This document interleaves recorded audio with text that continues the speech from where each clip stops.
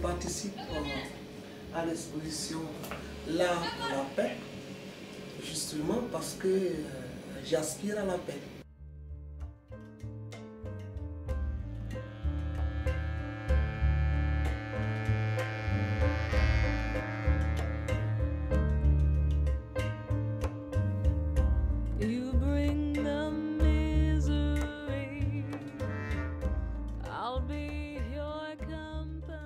Je suis Mathilde Mourou, artiste peintre, euh, directrice de l'école des beaux-arts d'Abidjan depuis bientôt 8 ans. Et euh, j'en veux pour preuve tout ce qu'on a vécu ici en 2010-2011. Euh, ça a été très difficile pour les artistes. Je veux dire que tout s'était arrêté, il n'y avait plus de manifestations culturelles. C'était difficile même euh, de descendre dans son atelier et travailler. On parle bien de ce qu'on a vécu en Côte d'Ivoire. Oui, et euh, sous les balles, c'était pas évident. Aujourd'hui, parler de paix pour nous euh, signifie tout simplement revivre. Euh, la peinture, là, est, est une sorte de thérapie. Parce que quand euh, dans une situation de guerre, c'est l'artiste qui va restituer tout ce qui va se passer. Donc l'artiste est là pour l'histoire, pour marquer l'histoire.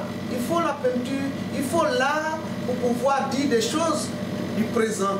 Et donc demain, on aura besoin de l'artiste pour savoir ce qui s'est passé hier. Et donc pour moi, la peinture apporte toujours. Et dans une situation, dans la vie même de tous les jours, ça apporte le beau. En même temps, ça dit aussi les choses tranchantes de la vie. Parce qu'il faut aussi dire des choses quand ça ne va pas. Et là, l'art est là pour ça. En même temps, elle sert de thérapie. En même temps aussi, euh, dit des choses. Donc, pour apaiser. Donc, quand on dit que c'est pour apaiser, c'est aussi euh, la paix aujourd'hui.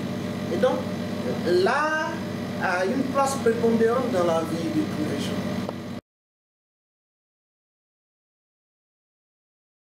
Parce qu'on n'est pas, pas indifférent à tout ce qui se passe. Mais parce que la politique aussi, c'est la vie de tous les jours. Mais je pense que la- l'artiste ne doit pas être au devant des choses, justement. L'artiste est là pour mettre le doigt quand ça ne va pas.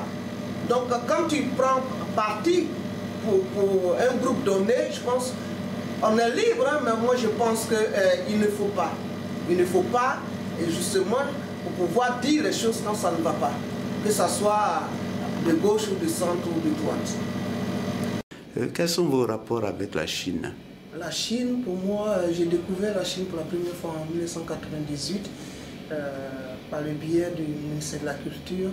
Euh, le ministre à l'époque, euh, Feu Bernard Dizaourou, qui a voulu que j'aille en Chine pour m'imprégner de la culture chinoise par rapport au, au palais de la culture. Et je me suis depuis lors laissé apprivoiser par la Chine, par sa culture, par sa façon de faire, par son ardeur au travail. Et c'est très important parce que j'aime les gens qui travaillent. Et c'est un peuple qui travaille et qui, qui en veut. Justement, aujourd'hui, j'ai connu la Chine en 98. Aujourd'hui, elle a évolué. Les gens évolué. Le professeur d'université qui avait que son vélo aujourd'hui euh, roule dans de grosses voitures. À, à l'époque, les voitures, les belles voitures qu'on voyait à Beijing, c'était les voitures des diplomates. Aujourd'hui, les Chinois roulent dans les Rolls, c'est exposé, les gens achètent. Ça veut dire qu'ils ont travaillé, ils ont cru en leur pays. Et aujourd'hui, euh, la Chine fait partie euh, des pays qui comptent dans le monde. Quelle est votre vision pour les beaux-arts, pour l'école des beaux-arts aujourd'hui? D'abord, je vous dirais que pour l'école des beaux-arts, euh, vous connaissez ce bâtiment qui date de 1964. Et euh, à l'époque, il y avait moins de 100 étudiants. Aujourd'hui, nous sommes à plus de 300. Le rêve, c'est de voir d'autres bâtiments sortis de terre et qu'il y ait des ateliers euh, aujourd'hui modernes parce que euh, l'art a beaucoup évolué et par rapport à ce qu'on voit. Nous avons de bons espoirs parce qu'il y a des promesses fermes. Et donc on espère que d'ici quelques années, en tout cas, euh, on aura d'autres bâtiments. Il faut aller apprendre ailleurs pour, pour enrichir ce que nous avons ici et euh, donc faire bouger. Du coup, les étudiants sont enthousiastes Et puis en plus, euh, je fais appel à, un jury professionnel justement pour voir un peu ce que les étudiants font et car justement après le diplôme, ils ne chôment pas. Donc pour moi, c'est l'ouverture. Ma philosophie, c'est de pouvoir euh, brasser euh, d'autres cultures, de pouvoir bouger, de pouvoir... Justement aussi, j'accepte alors, dans le partenariat, c'est donnant-donnant. Moi aussi, il y a des étudiants qui viennent de Marseille, Besançon, euh, bon, un peu partout en France, même de la Chine, pour pouvoir aussi apprendre chez nous. Parce que là, ne doit pas avoir de frontières. Tout à fait. Merci, mais euh, vous êtes aujourd'hui euh, directrice de l'école euh, nationale supérieure des beaux-arts d'Abidjan. On sait que c'est assez lourd comme, comme responsabilité. Comment trouvez-vous le temps de travailler? Alors, je- cette question m'amène à dire que quand je jette un regard en arrière, je me dis j'ai toujours fait avec tout.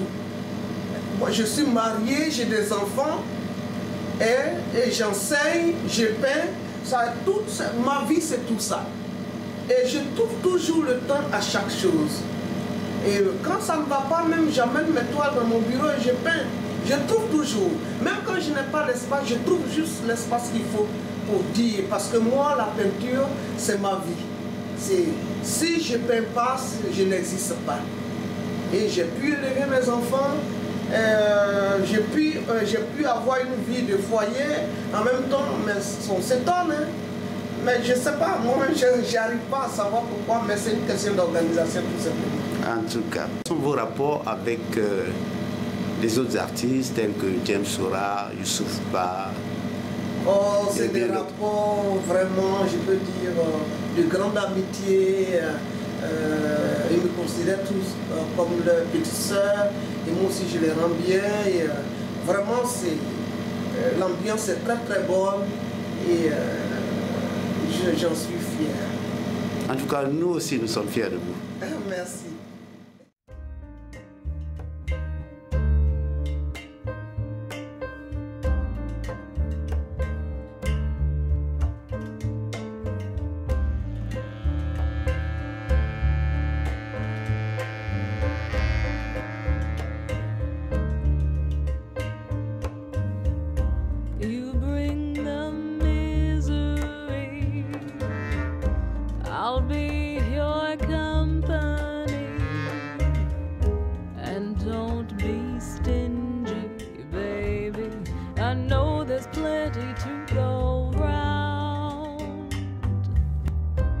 I wanna get inside your head know everything that you've ever said. Preview all your ideas. Taste the words as they leave your mouth. If hope is a thing